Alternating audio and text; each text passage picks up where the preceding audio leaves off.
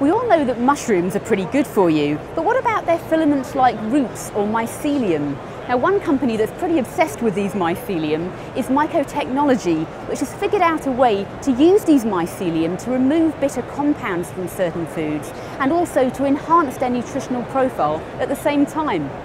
So what kind of fascinates me is how you even discovered that these uh, mycelium had these properties in the first place. Well, it was really interesting. Dr. Brooks Kelly, who's one of the co-founders of our company, discovered this uh, when he was at Penn State University working on his PhD. What we're doing is leveraging what nature already does. So in the forest, mushrooms have a symbiotic relationship with trees. They remove toxins and they infuse nutrition back into the root system of trees. And in nature, things that are toxic tend to be bitter.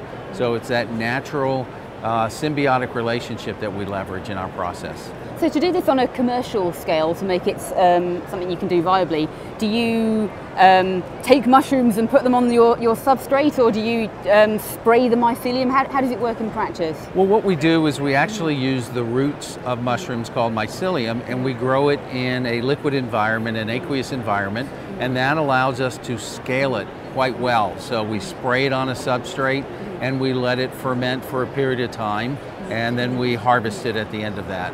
So what kind of raw materials uh, do you work on? Well, it works really well on things like coffee and chocolate, teas, grains, and uh, also on stevia.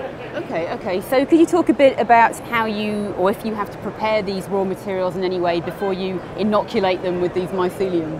Yeah, we do have to prepare it a little bit. There's a lot of competing organisms that can be present on these substrates. So typically green mold is one. So we uh, sterilize it or pasteurize it before we introduce the fungi. Okay, so once uh, you've done that um, and you inoculate uh, these substrates uh, with these mycelium, what happens, how long does it take, and how do you know when it's done? Oh, a very good question. So like coffee as an example takes about seven days. So uh, we'll spray it on there, We'll let it ferment and grow and you can look at the color change. It'll change from a dark color to a lighter color. Uh, and then when it's done, we remove the excess moisture and then we roast it like normal coffee. Okay, and uh, the final product, um, does it still contain some mycelium and do you have to label these on the end product? It does uh, contain some mycelium. Uh, it has beta glucans from the, the mushrooms, which are quite good for you. Mm -hmm. Uh, and the labeling by the FDA is to require to put mushroom mycelium on the ingredient label. Okay, okay. So how do you know, have you done much testing or have your partners done much testing of these finished products to see if they really do, you know, contain fewer of these bitter compounds that you're trying to remove? Uh, yes, we've done uh, before and after testing by third-party labs, and uh, there's about seven different molecules that contribute to bitterness in coffee, as an example, and we reduce those by 55 to 75 percent. Okay. It really tastes great. Yeah. No need to put cream and sugar in your coffee. Okay, and what about the ability of some of these mycelium not just to take out the, the stuff you don't want, but also infuse these uh, substrates with the things you do want?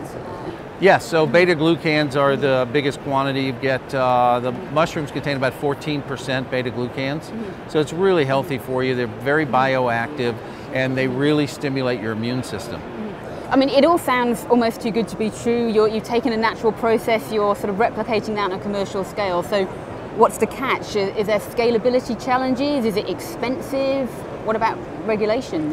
Well, scalability was our biggest problem to overcome. So our first year was all about uh, scalability. We were able to take it from little small jars uh, and grow it into do 20,000 pounds in our first quarter of production. So yeah, scalability was an issue. We've overcome that. Uh, regulatory, it's, it's uh, you know, you have to go through the regulatory processes, which we've been doing. Uh, so uh, no, it's uh, it's ready for market, and, and we're very excited to uh, to partner with someone like U.S. Nuitong here with our stevia product. Okay, so can you talk a bit about um, where you see the most commercial potential? I think the the near-term largest uh, potential for this is in stevia. Uh, there's a huge trend right now for consumers to move away from sugar for all kinds of health reasons. And stevia is a natural sweetener, 300 times sweeter than sugar, but it has a problem. It has an aftertaste, but it has no calories. Mm-hmm. And people aren't willing to compromise taste for calories. They want it to taste just like a sugar sweetened product. Mm -hmm. With our technology, we're able to uh, mask the bitter licorice metallic aftertaste of stevia, so you don't have to compromise. It tastes great and no calories. Just also, I wanted to ask you because we've had a lot of questions about the potential in the cereal industry because I understand you can actually take some of the gluten uh, out of wheat, for example. Yes, we've had great success with that, and it was actually a surprise to us when uh, we went through the process the first time. We noticed it right away that the gluten was gone. And so basically what we've done is the, the mushrooms have consumed the gluten protein. Uh, and, and they also put protein back, but it's a uh, type of protein that's very digestible. So we end up with 40% more protein. So it's very interesting and surprising that we can remove all the gluten and end up with more protein than when we started.